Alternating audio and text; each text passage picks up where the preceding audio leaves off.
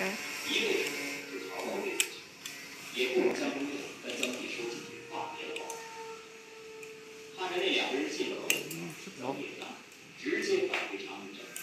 王平跟可能会随时和王。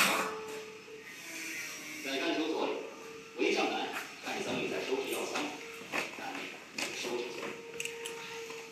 一大早，就有人吵，出去一圈又拦不住。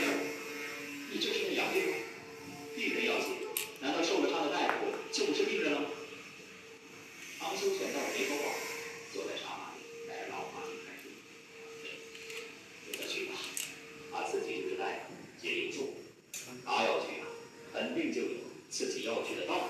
这个这个，嗯，也就是注意，嗯，拿出来。说，直接放，